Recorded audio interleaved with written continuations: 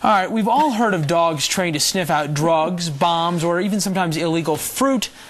But what about bed bugs? Well, the first one in the Rocky Mountain region just relocated to Denver from Florida. And as Fox 31's Tammy Vigil tells us in tonight's Fox Files, his owner hopes to capitalize on the canine's keen sense of smell. Tammy? That's right, Libby. Macaroni's owner hopes to get hotels, apartment complexes, and furniture rental companies, among others, to sign up his clients for his new business called Colorado Bedbug Canine. It's a concept that's already big on the eastern seaboard, with at least 40 to 60 bedbug dogs working there.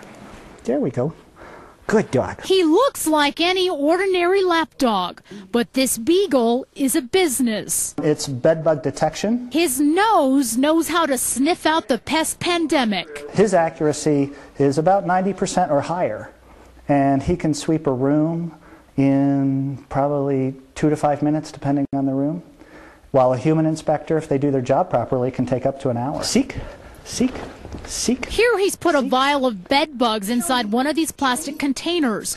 And when Macaroni smells it, he sits and points to it with his nose. Show me. Show me. He pulls the bugs from furniture discarded on the streets. Tip, never take furniture anymore off the street.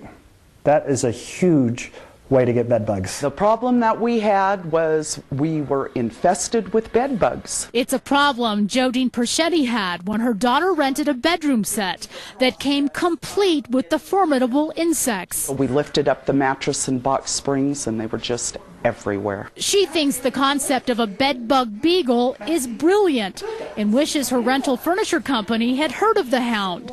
It would have saved her and her family becoming human meals. If you see an adult bed bug, it's fed five times because it goes through five stages of growth and it can't reach the next stage unless it's had a blood meal. He's hoping the concept gets a big bite of business. He's got the nose thing down.